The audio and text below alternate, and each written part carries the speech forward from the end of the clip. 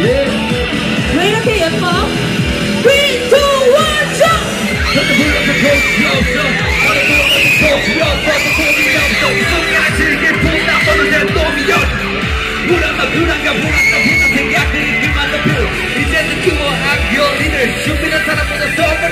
그 손이 잡고 떠나고 있는 시간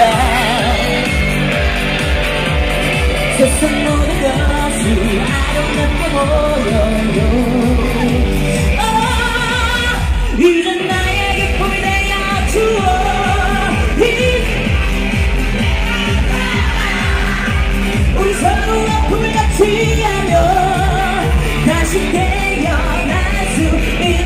걸 이제 그대